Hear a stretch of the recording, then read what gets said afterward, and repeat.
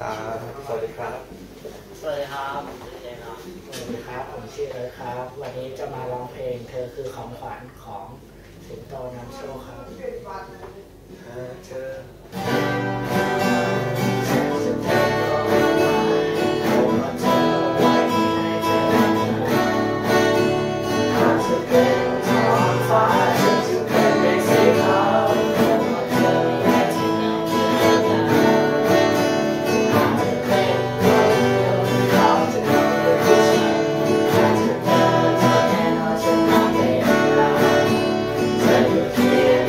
พี่